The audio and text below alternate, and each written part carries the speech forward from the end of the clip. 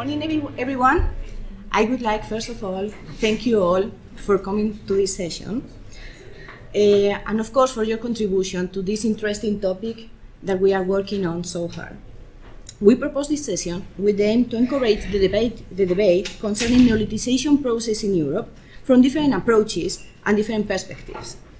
In the last years, uh, the application of new techniques and approaches have revitalized the debate about Neolithic in Europe. New genetic and isotopic analysis, chronological and simulation models are some of the most relevant contributions and, well, and, and they are well represented in this session. The session is constituted by 11 presentations and three posters that we can see in the general poster presentation from different regions from Eurasia.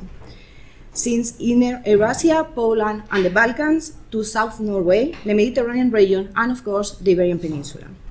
The schedule for the session is this one. So we have a first lot from 8.30 to uh, 15 to 10, and after we have the coffee break, that is great. And after we have a second part from 11 to more or less half past 12.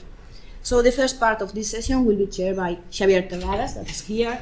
The second part of the session will be chaired by Claire Manen, and we are going to finish with Juanjo Ibañez and with a general reflection about the session. So thank you for coming and I hope this session will be interesting for you also. Thank you.